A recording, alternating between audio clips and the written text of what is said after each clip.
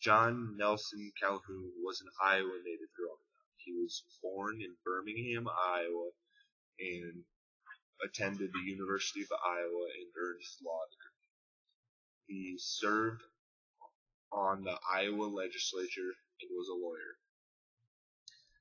Later on in his life, he decided to join the army during World War II.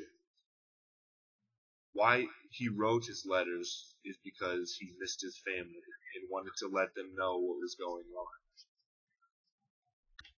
John wrote very sentimental letters to his family, filled with emotion.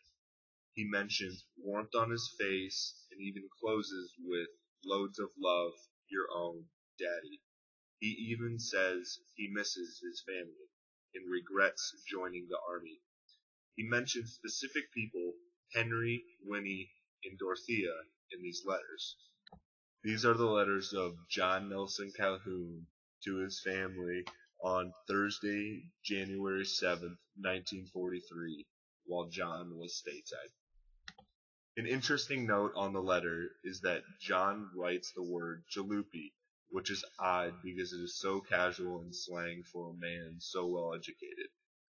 The jalopy, or jalopy as it is properly pronounced, is misspelled in the letter. Also, another interesting point. He's referring to his Model A that he is driving on the highway during his military job.